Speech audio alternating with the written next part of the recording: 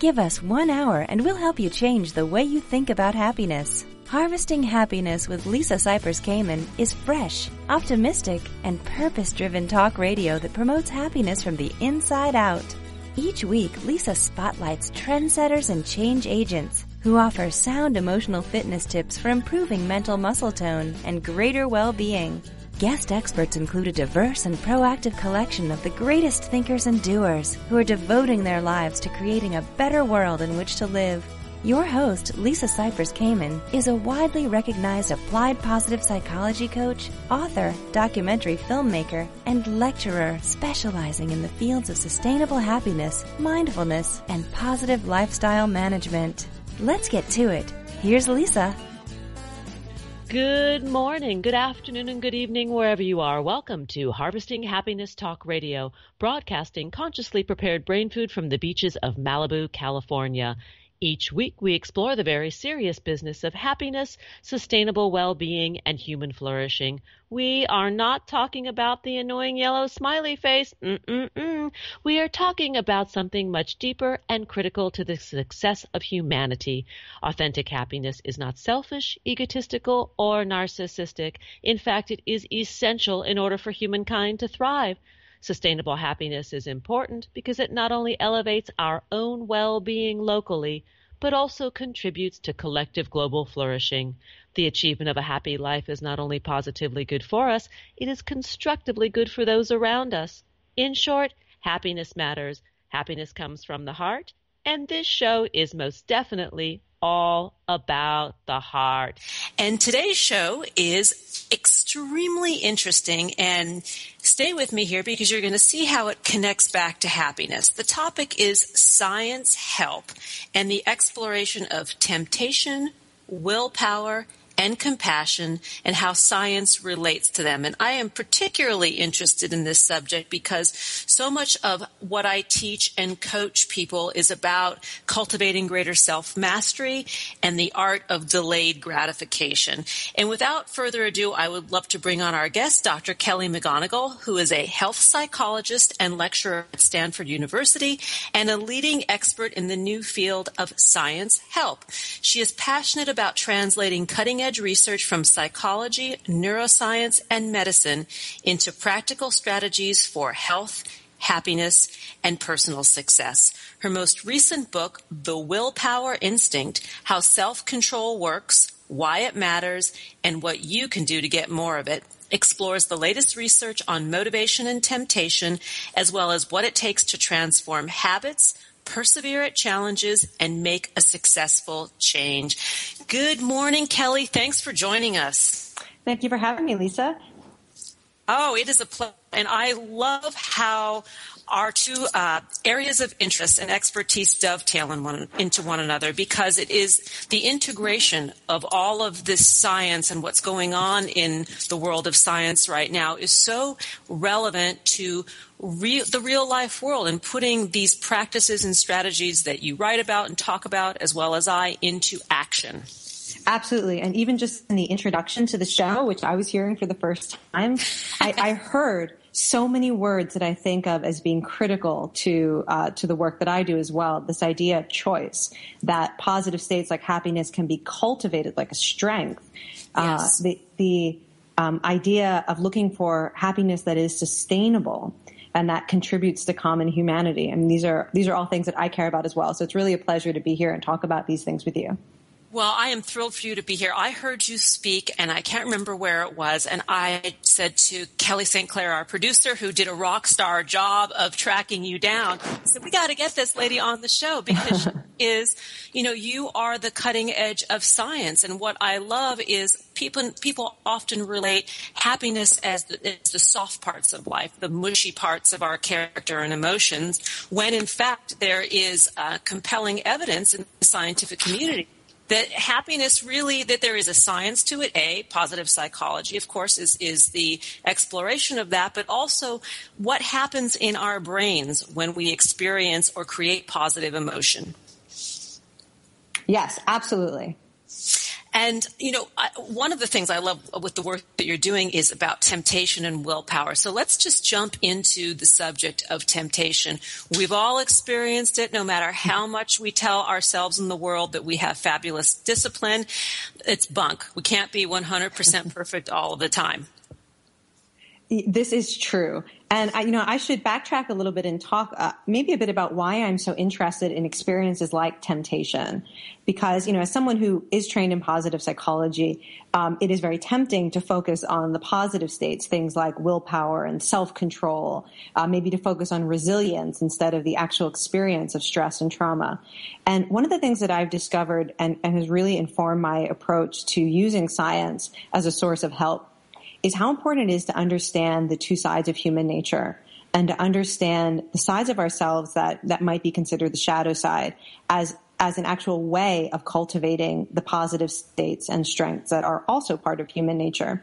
And so one of the reasons that I got so interested in, in the science of temptation is because so many people were reporting to me that they felt like that experience was getting in the way of reaching their goals, uh, whether it was the goal to lose weight or to form um, healthy relationships uh, or to have success at work.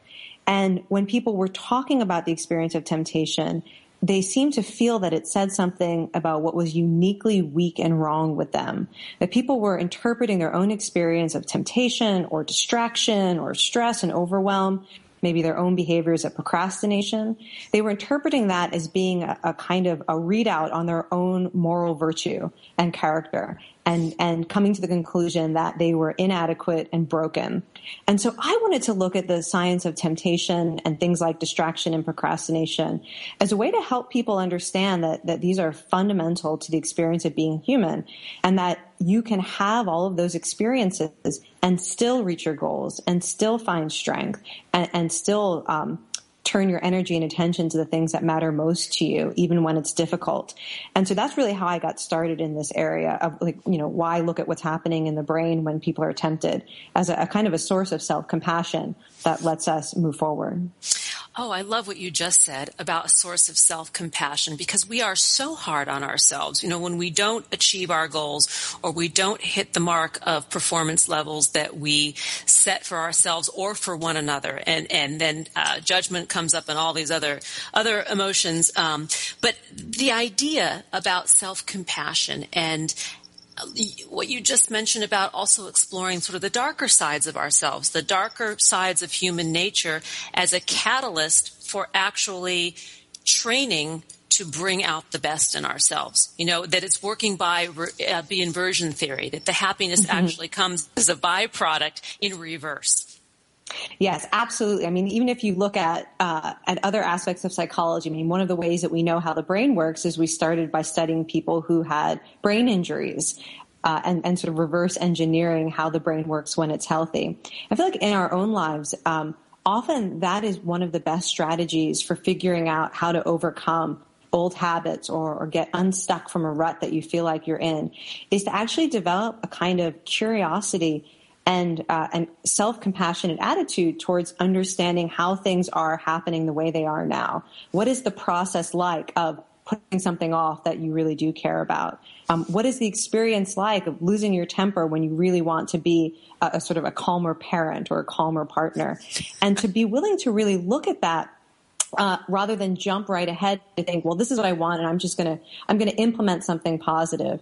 And I, I do feel like when you take both approaches to understanding how things go go wrong, so to speak, uh, and it's the attitude that you bring to that process of self observation that makes all the difference in the world.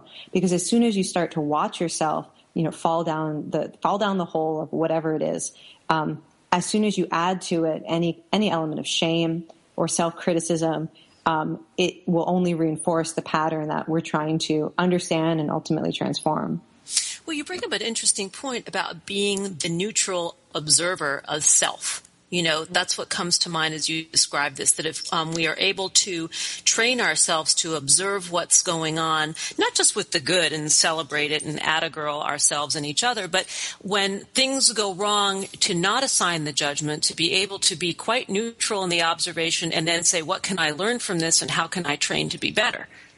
Yes, and so as you know, I'm trained in both science and uh, and mindfulness meditation, and I feel like this is an attitude or a mindset that you can gain from either one of those fields. You can think of yourself as a, a scientist who is observing without judgment, but just with true curiosity you know, observing how your own mind works, how your environment might trigger certain behaviors, and uh, and taking a look at what supports you as well as what sabotages you. Um, but we also can learn that skill from things like mindfulness meditation, where you know you can actually cultivate as a, a skill the ability to observe what's happening without the usual automatic habit of immediately assigning blame or self criticism or trying to what many of us do is um, deny how we might be contributing to our own suffering because it it's so easy to fall into self blame and self judgment that we don't really want to see it. And if we can't see it, it makes it very difficult to change. We are going to be going to a break soon, and but I want to touch upon two words came to mind as you was just speaking, and we will we can pick these up after the break, and that is needless suffering and story. You know, the mm. story that we tell ourselves that keeps us stuck or keeps perpetuating the unhappiness that we say we want to end or avoid.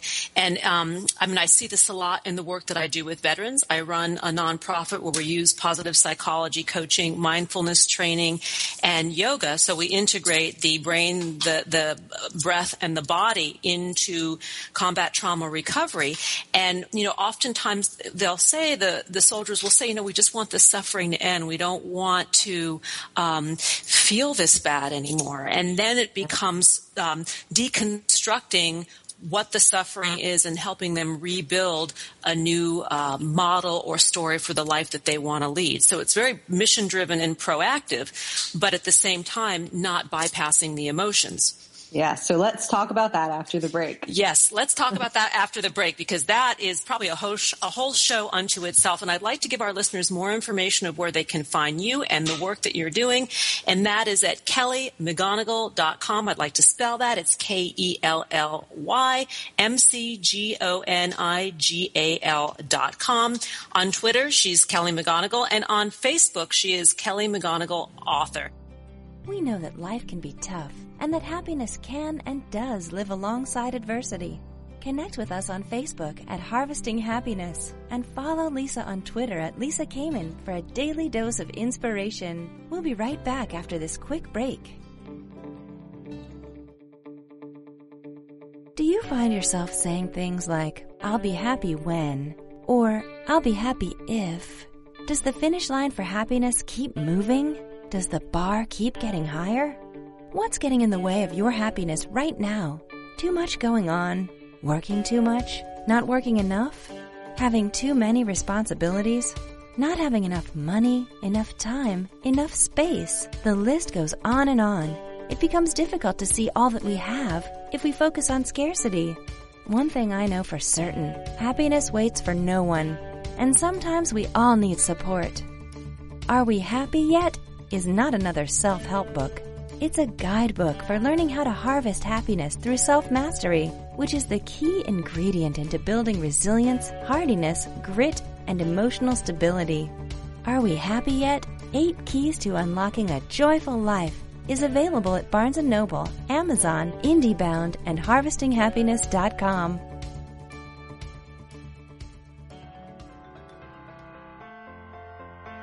Each day we get to choose how we are going to show up for life. And at times we need tips for strengthening our well-being. Learn training strategies for greater emotional fitness and improved mental muscle tone at harvestinghappiness.com. Welcome back. If you're just joining us now, I'm here today with Dr. Kelly McGonigal, who is a health psychologist and lecturer at Stanford University and a leading expert in the new field of science help. She is also the author of The Willpower Instinct, How Self-Control Works, Why It Matters, and what you can do to get more of it. And prior to the break, we sort of were touching on the subjects of temptation, willpower, compassion, self-compassion, and the needless suffering and stories that we tell ourselves that keep ourselves stuck.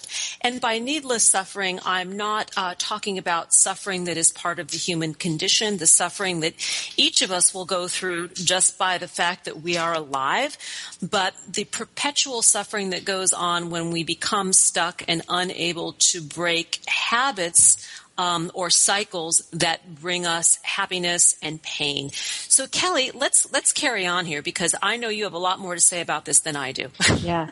Well, so and I actually something that you said before the break um, really inspired me to talk a little bit about this idea of suffering and, and what kind of suffering we can choose to avoid and the kind of suffering that we actually can't avoid.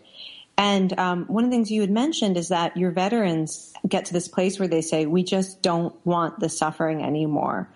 And I find that that is such a, common report from people who are suffering from not just trauma, but addiction, depression, and anxiety, uh, and binge eating, and, and all of the, the things that are um, such common struggles, human struggles, uh, that people say, I just don't want to feel this way anymore. Like I can't take the inner experience of addiction or anxiety or trauma.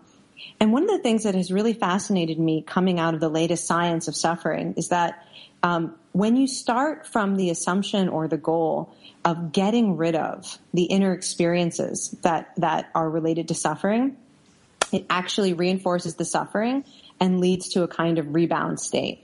So if I'm somebody who suffers from anxiety and I want to transform that experience and, and find courage and the ability to approach the things I want, um, if I believe that I need to get rid of the inner experience of anxiety, the heart palpitations, maybe the thoughts that predict all the terrible things that are going to go wrong if I try, if I think I have to get rid of that first, that inner experience of anxiety, I'm almost guaranteed to, to not only fail in getting rid of them, but to have increased anxiety and continued um, failure to, to to do the things that I care about. And this has been shown for every possible type of suffering, whether you're somebody who thinks you need to get rid of cravings before you can lose weight or before you can resist something that you are addicted to, or you feel like you need to block out intrusive memories when you're dealing with PTSD. And um, again and again, the research suggests that we need to accept these difficult inner experiences as, as kind of passing events in the mind and body that we do not have control over. When it comes to self-control, whether or not we have a thought and whether or not we have an emotion or a physical sensation, that is actually not the thing that is under our control. And so a big part of when I think about um, helping people be free from unnecessary suffering.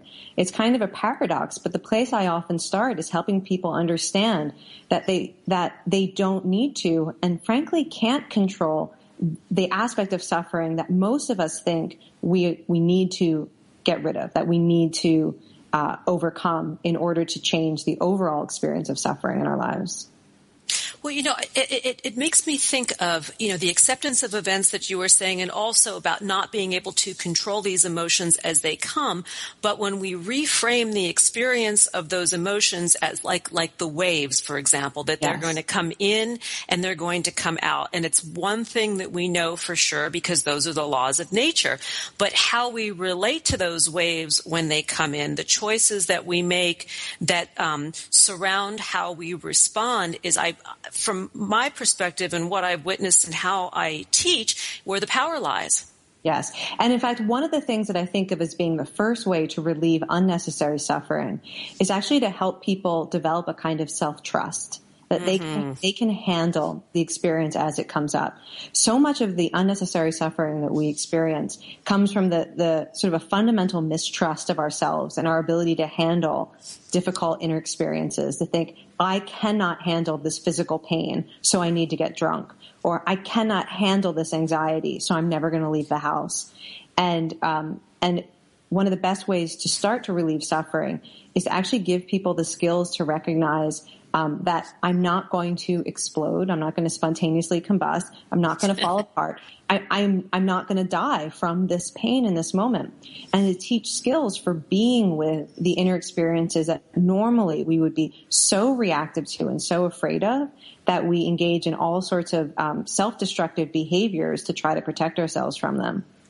Well, the, the, the fear of, of going there, you know, to that, that dark place uh, is also tied up in not being able to control oneself and return from it. So whether it's, you know, the fear of uh, being in such a sad or grief stricken place that you'll never come back. And that is a myth. It, it, you know, it is a, it, it is not a self-fulfilling prophecy. It really is a myth that if you go there, if one allows themselves that extreme vulnerability, one also opens up the pathways for that extreme joy as well. Yeah. It is, it's true. And it comes back to that quality of mindfulness we were talking about, mm-hmm. that there mm-hmm. actually is a way to observe um, these emotions and thoughts with, with a kind of clarity. But also I want to say, I mean, even when we talk about these, these habits of mind that are unhelpful, uh, we can even bring self-compassion to looking at those habits of mind. And when I think about the human tendency to protect ourselves from our own grief, to not want to look at the anger or the fear or the, the craving. There, there is something kind of sweet about it and to recognize that even in, in this habit of mind that tends to end up being destructive, to recognize that even in that there is the seed of yourself trying to take care of yourself. Because I think one of the hardest things when you're working with people who suffer from things like addiction or trauma is helping people make contact with that part of themselves that really truly does care about themselves and is going to be available to mentor themselves um, in the process of change. And this is where um, in my opinion, the soul comes in. You know, we often it, it, within within the medicine community, medical community, and science community, there it can be a um, a disconnect between that very soulful parts of ourselves. For example, when you take a, a warrior who's come home from from battle, and they are challenged by post traumatic stress, you know, it, it, we label it a disorder. We tell them that there is something wrong. It's a disorder. Well, actually, it's the very natural order of things. You know, they've been exposed to extreme stress, extremely violent traumatic circumstances, and to not be affected would actually um, create the red flag or the uh-oh to me. So it is like you say that, that, that, that parts of themselves that are looking to take care of the soul or the heart or their own spirit without sounding woo-woo, because I'm not intending it to be that way. No, I understand completely. And I feel like this is how science, you know, we're talking about spirit, but uh, sort of ironically, this is where science becomes this tremendous source of self-compassion because you can take someone who's suffering from PTSD and you can say, you know what? This is how the stress system evolved to protect you. And this is what happens in your body when you experience great trauma. And this is how the chemicals reshape what's happening in the brain as a way of trying to help you deal with similar situations in the future. And although it's causing stress and suffering now, to understand that this is this is evidence of normal functioning in you and that again it doesn't reveal anything that is fundamentally broken about who you are. And now the job is to um, to trust the brain and the body's plasticity and that if it learned from trauma you can also now learn from positive experiences that you'll be creating in your life in, in a place of safety well, let's talk a little bit about the plasticity of the brain because the, the, this may be a new word to some of our listeners. The idea uh, that we can actually reshape what's going on within our heads. Yeah. So many of us understand this at the level of the body, and so I often think it's helpful to start there. Um, you could take a look at your own bicep and you know how big your bicep is and what it can do is in large part determined by how often you lift heavy things and if you wanted to make your bicep bigger and more efficient, if you wanted to make it easier to lift heavy things, all you really have to do is start picking up heavy things. And as you get stronger, keep picking up heavier things. And what you do creates the shape of the muscle and the skill of the muscle. And we didn't know this until pretty recently in the last decade or so. But the brain is a lot more like a, muscle of the body than many people uh, appreciate. That it is constantly reshaping itself uh, to to get better at the things you ask it to do. And so if you, you know, spend all day long being self-critical, you're actually going to develop a brain that is really good at self-criticism. if you do, if you do math all day, your brain is going to get highly efficient at mathematical reasoning. If you cultivate, if you choose to cultivate gratitude, you're going to get a brain that is really good at recognizing positive things in your life and remembering to express that gratitude and appreciation. Uh, and the brain literally gets bigger and better connected in a way that, like the bicep, is going to make it easier to do certain things um, and to kind of prime you to think and feel and behave in a certain way. And so, a big part of all the work that I do is helping people think about what's the workout that's going to help create the brain that you want. Um, and part of that is understanding the brain that you have whether you're talking about trauma and how that might have affected the brain, or looking at how, um, you know, in, in any sort of addiction, even if it's just spending too much money at the mall or having a hard time resisting dessert, that how your brain may be primed to seek those rewards and what the workout is for um, resisting that temptation and choosing to focus on longer term rewards. And there's always a workout for whatever state it is that you want to cultivate as a skill or a trait. You know, I love that you say workout, but it is, it's very true and, and actually stupidly simple. It's the execution where we have the complications. you know, that we all know that if we want to become thinner, we shut our mouths and start moving our feet. So where is that disconnect that happens between the rational mind and then the temptation that creeps in and um, sabotages our efforts? Um, we are coming to an end, and I want to make sure that we talk about the Center for Compassion and your work at Stanford. And please share, because you're involved with some wonderful work up there.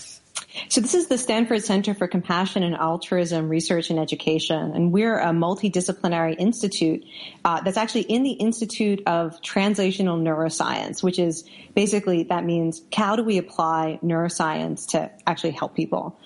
And um, one of the things that we're very interested in is looking at whether compassion and self-compassion are trainable attitudes and mental states. And we're using compassion meditation and mindfulness meditation to do that. We recently published um, our first report of this intervention in the Journal of Happiness Studies, showing that this eight week training in compassion and self compassion really does help increase compassion for others and for ourselves.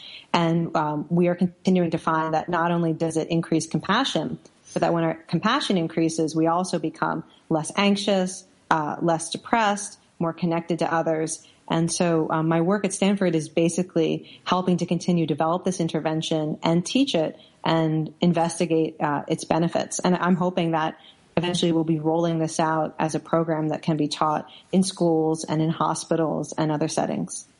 This is incredible work. Um, uh, is there information on your website that would link um, listeners to the Center for Compassion, or should we give another domain yeah, for that? So there is, but if people want to go there directly, the website is ccare, C-C-A-R-E dot stanford dot edu.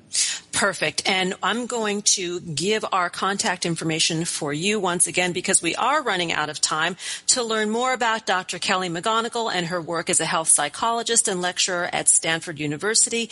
Please visit kellymcgonigal.com and that's K-E-L-L-Y-M-C-G-O-N-I-G-A-L dot com. On Twitter, she's Kelly McGonigal. On Facebook, Kelly is Kelly McGonigal author and her book is The Willpower Instinct, How Self-Control how self-control works, why it matters, and what you can do to get more of it. Thank you, Kelly, so much for being on the show with me this hour, and I hope you'll come back again in a few months and update us mm, I with sure what will. you're doing. It would really be fabulous. Nothing gives happiness like a free gift. Unwrap your present by signing up for Happiness Headlines, our monthly e-zine at harvestinghappiness.com. Stay tuned for more after the break.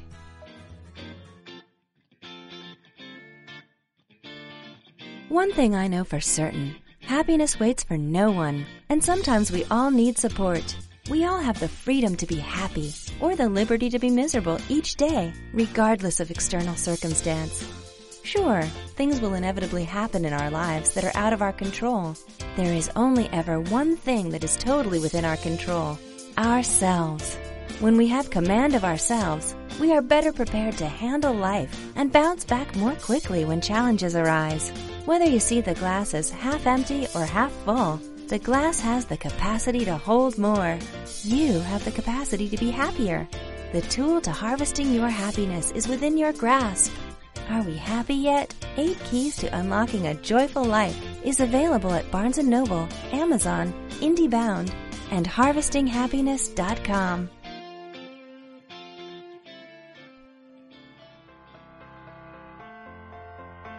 Each day we get to choose how we are going to show up for life. And at times we need tips for strengthening our well-being.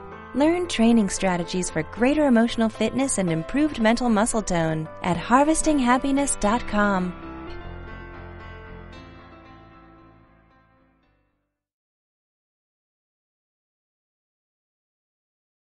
We are talking about peak performance through sports and training, the inner game of self mastery. And my guest today is the master of that. Timothy Gallwey is the founder of The Inner Game and is widely acknowledged as the godfather of the current coaching movement. Tim developed the inner game in the mid 1970s and he has spent decades inspiring successful organization including long-term clients such as Apple, AT&T, the Coca-Cola Company, and Rolls-Royce, with whom he shared the inner game of leadership, sales, change management, and teamwork. Tim is also a best-selling author. His book, Inner Games, or the Inner Game series, set forth a new methodology for coaching and development of personal and professional excellence in a variety of fields. His books have led many to realize that the inner game holds the key to the outer game of their lives. Amen and welcome, Tim. Well, I I'm excited to uh, be focused on the inner rather than the usual focus. How does the inner help your outer game? Yeah, well, the, the inner is um, is the seat of everything, right? The inner experience. That's not what our society at large is believing. They want, oh, you have to get less stress in order to succeed in the outer game. You have to handle your doubts. You have to learn how to concentrate. But there is there's a game that we've been playing since our first breath. And the big word for it is evolution. And happiness is its goal. So I am delighted not to have to talk about selling uh, and winning your next tennis match. I love that, and you know what? You're in good company because selling is is something that um, I prefer not to do. You know, I prefer much more in the being and and and what come come what may, you know. You you can't sell a person what they already have.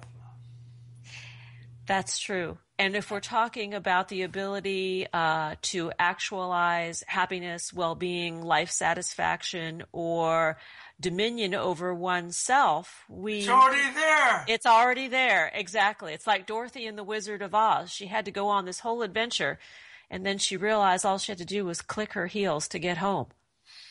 Well, let's click. what made you you uh, you were a professional athlete? No, it, I was uh, uh, as a junior player. I was number seven in the country. Uh, I was captain of the Harvard tennis team, but I entered the career of education and uh, on sabbatical I started teaching tennis because I realized how many obstacles stood in the way of education really educating. So I started doing what was done unto me, teaching tennis. Take your racket back early. Hit the ball in front of you. Hit the ball in the middle of the racket. Follow through. All our education is wrapped around two words should and shouldn't. And what that does, I suddenly, well, what happened to me one day in the tennis court? The student bless his heart, started to break his bad habit before I started teaching. Do you realize the calamity that that was? He was learning without me. he was undermining the economy of tennis. First I teach, then you learn, then you pay me. And that inner dialogue shocked me. And I said, I wonder how much learning can take place with how little teaching. And what I found out was 500% more. And so the instructions went out the door, and what came in was simple awareness of what you were doing. And with that awareness, we began learning as the best learners in the world do, all of them being under five. And how easily we learn how to walk and talk without being told how. And when we're told how, we get self judgmental, we get self doubt. Can we do it? We're trying to please the pro and the observer instead of enjoy inherently the learning and growing process. So that's true in whether you're playing an outer game like tennis or business or whether you're playing an inner game like fulfillment, joy, happiness, uh, peace, all of those realities happen within the human being. Yet the society we live in is 90% or more concerned with how we're doing in the outer game. Yeah. And when we can master that inner game, and I, what I hear you saying is mastering it through the eyes and experience of that childlike wonder that each one of us possesses, no matter how old we are. Absolutely. We start seminars asking people, and your audience might just do this mentally. What are the qualities that you most admire in any child under five? And you get strings of curiosity, fearlessness, courage, wanting to know, wanting to discover, having fun in everything they do, uh, learning, not being afraid to ask. They're, we're designed to evolve, and we get uh, subjected to, well, external goals. Yeah. And what others will think of us. And what others think of us, not like Socrates said, know thyself. It's, it's fundamental and ignored. We yeah. don't know our obstacles. We don't know our potentialities as human being. And I'm so glad there's someone like yourself and there are others who are saying, no, guys, inner comes first. Yeah. And outer will follow. And there are millions of rich people who are poor in inner prosperity, in their happiness, in their joy, in their gratitude for being alive. And I want to reverse that.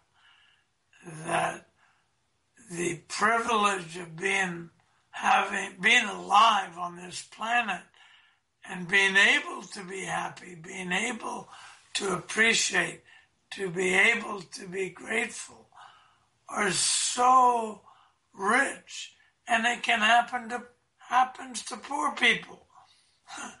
Or externally. So it's not dependent. You know we need a house we need food we need water and we need air but we definitely need peace. We need happiness within us you know, it's funny you, well, it's not funny. It's so true what you just mentioned about uh, poor people or people who have less uh, monetary reward. They are not necessarily unhappy people. I had the great fortune a few weeks ago of going to Havana, Cuba to speak at ah. the Latin continent continent um, psychology conference, and there were 1,500 psychologists that had come from around Latin America and the Caribbean world, and and Europe and the Middle East. And the focus was really on the human condition. But one thing I really was acutely aware of within the Cubans was the fact that although they didn't have a lot, they were extremely happy and they were very articulate about this, very aware of what they, what they didn't have and the riches they did have. We we can learn a lot from them. I spent I talked and uh, made a few trips to India, and the poverty needs to improve, the external poverty, but the internal richness is staggering, and we we have a lot to learn we do. That. You and I are going to need to volley off to a very brief break. To learn uh-huh. more about Tim Gallwey's work, please visit theinnergame.com. On Twitter, that handle is at the underscore inner game. And on Facebook, the page is Tim Gallwey, and that's G A L L W E Y. Here come the tunes. Who says money can't buy happiness?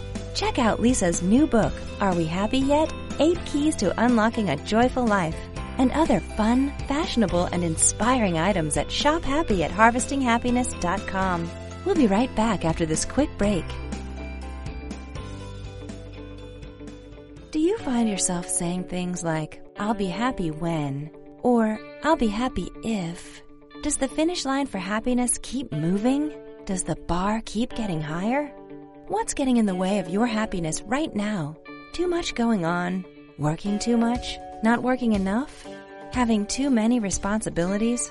Not having enough money, enough time, enough space? The list goes on and on. It becomes difficult to see all that we have if we focus on scarcity. One thing I know for certain, happiness waits for no one. And sometimes we all need support.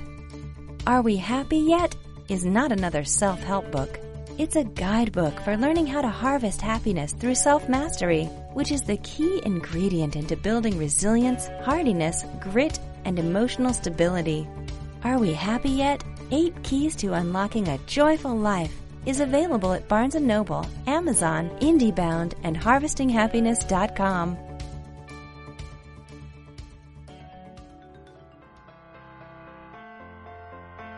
Each day we get to choose how we are going to show up for life. And at times we need tips for strengthening our well-being. Learn training strategies for greater emotional fitness and improved mental muscle tone at harvestinghappiness.com. Welcome back to Harvesting Happiness Talk Radio. If you're just joining us now, I urge you to download and share this podcast. Why? It's kind, it's free, it's legal, it's available 24 7, and we're talking about peak performance through sports and training and the inner game of self mastery with my first guest today, Tim Gallwey.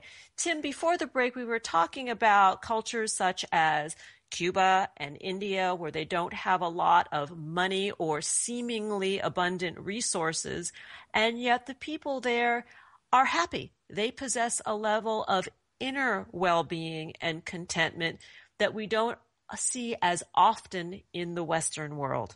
I'd just like to correct that they're not all happy. No, of course you not. You can not be all. unhappy and externally rich. You can be unhappy and externally poor. They're two different things, and we have we have happiness in us, and we have depression and anxiety and fear. But the one thing we have is human choice. It's one thing that enables us to pick and seek the happiness which goes way beyond good mood, goes way beyond cheerfulness. We have begun just, we're in kindergarten in the inner, inner game. And uh, we're liable, we're so distracted even by sports and business and performance because performance can be seen and then they can say you're wonderful. We need to know how wonderful we are by our experience of those potentially potentialities we have for happiness. That's what we're here for. You talk about uh, the new economy.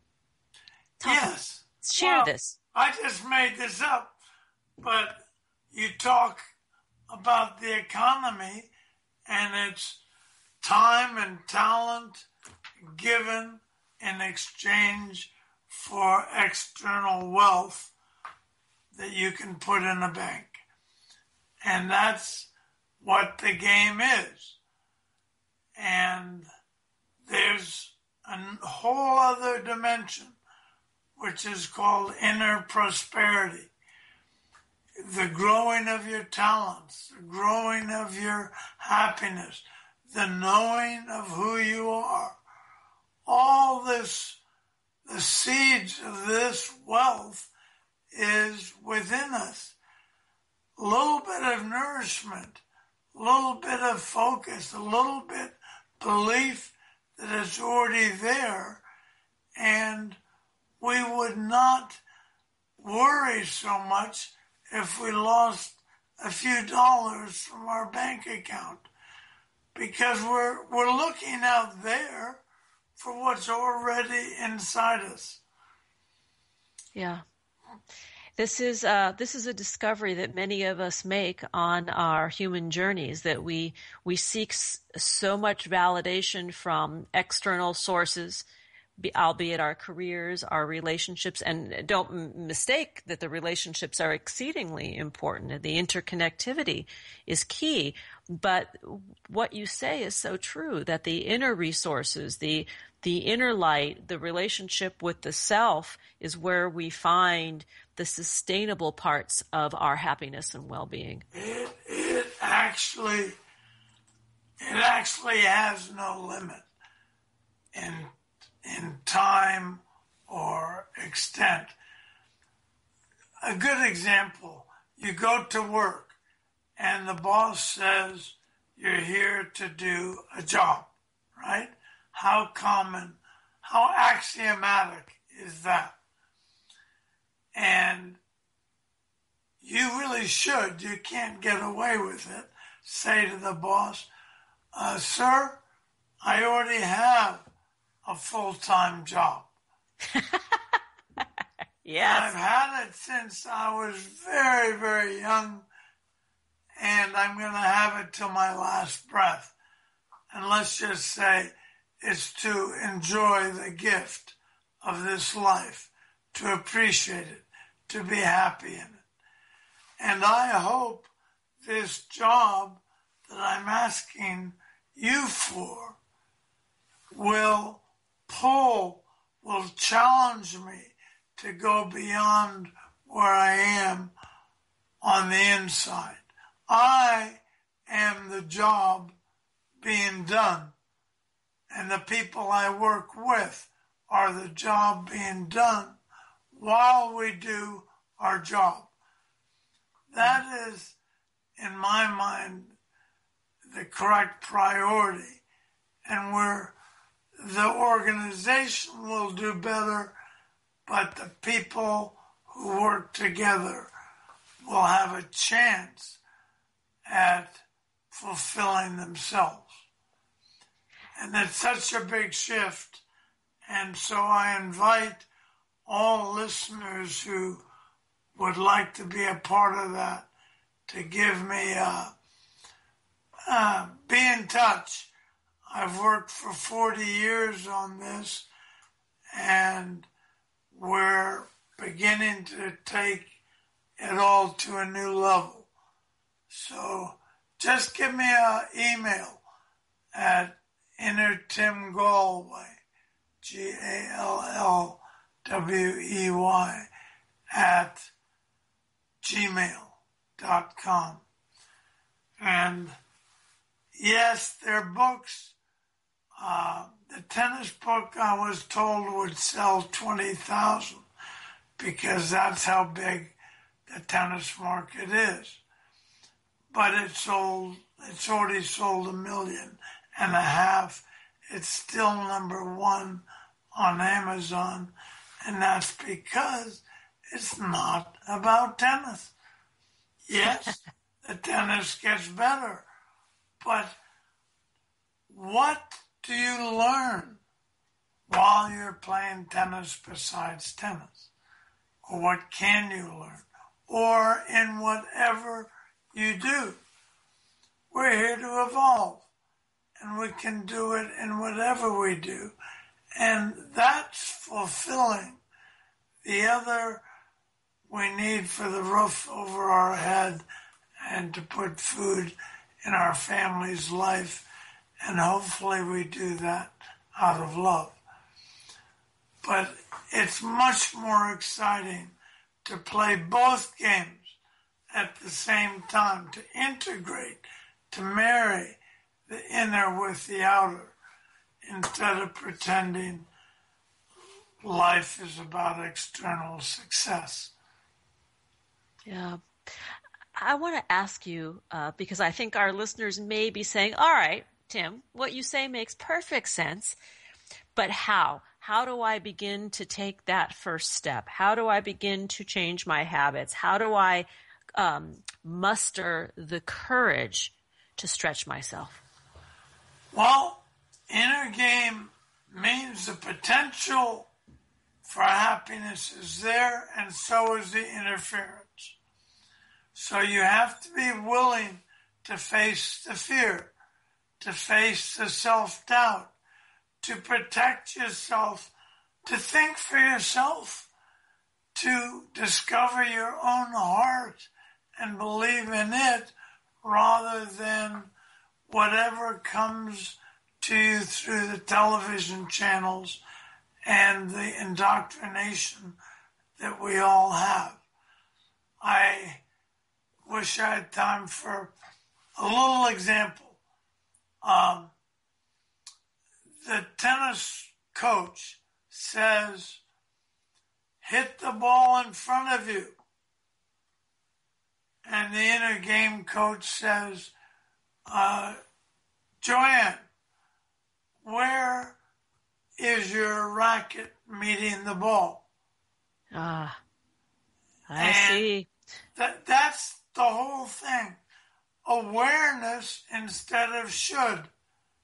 And should happens as a result of awareness, as a result of trust in your own capability to learn and grow, and being clear that your goal is not just to win, but is to thrive. Yeah. You know, just as you were talking, I'm thinking about uh, when we talk about change, I guess we look at where is our energy meeting our intention. Absolutely. And we we live in a world that has it focused out there and how we look. But what counts is how we feel in our heart, in our being, for the privilege to be the one thing we all are, which is alive. And every breath is a gift that enables you to have the chance to explore what happiness really is. Which is the antithesis of what we're taught. Yes, except as children. Except We're- as children. We're, We're- it's acceptable. We're happy doing whatever we do. We play games. We get shot in cops and robbers, and we die an agonizing death because it's so much fun, and we're dealing with our fear of our mortality. It's children have fun and learn in everything they do. And then we go to school. and then and then the pilot light is is dimmed. and we get taught. You know what I want to say in ending is when we think of authority, we think of it being out there. Governments, experts, scientists. We all have inner authority. We are CEOs of the success or failure of one life. I challenge you to say that's not more difficult than making a company profitable. We're all CEOs of our life, and we need to accept the authority that we will find in us. Now, Hemingway said, Hemingway said, if you want to be a good writer, learn the difference between, can I say it, bullshit and clarity. and, and write the clarity. And we have to do that inside ourselves. Thank you, Tim Gallwey. To learn more about Tim and his amazing work, please visit theinnergame.com on Twitter at the underscore inner game and on Facebook that page is Tim Gallwey G A L L W E Y. Tim, will you come back and share more of your, your joy with us? Well, I've enjoyed this time, so next time I expect will be even better. We have flown through another hour of purpose driven media designed to inspire you, our listeners, to create more joy in your lives and within your communities. And here are a few thoughts before we part. Happiness is not a destination. It cannot be bought, sold, or traded. Happiness will never invite you to the party. It simply comes down to a choice to show up each and every day in the world with passion, purpose, place, and meaning. Thanks for joining us on Harvesting Happiness Talk Radio. This is Lisa Cypers Kamen and my guest today, wishing you kind thoughts, kinder words, and the kindest of actions. Until next time, remember, happiness is an inside job. Happiness is your inside job. Go out and rock your day. Thanks for joining us on Harvesting Happiness Talk Radio with Lisa Cypers Kamen. Join us each and every Wednesday for a brand new episode of consciously curated talk radio from the heart. Keep harvesting your own happiness anytime from the comfort of wherever you are with hundreds of free downloadable podcasts from our libraries on TogiNet, iTunes, and SoundCloud. In a complicated world seemingly driven by nonstop negative news, Lisa's mission is to celebrate the upside of life and seek the silver lining of our challenges by transforming them into uplifting growth opportunities for all. To learn more about Lisa's global consulting services, please visit harvestinghappiness.com. Spread more joy by liking us on Facebook at Harvesting Happiness and following Lisa on Twitter at Lisa Kamen. Harvesting Happiness Talk Radio is produced in collaboration with TogiNet Radio, KBUU, RadioMalibu.net, and is available on PRX, the Public Radio Exchange.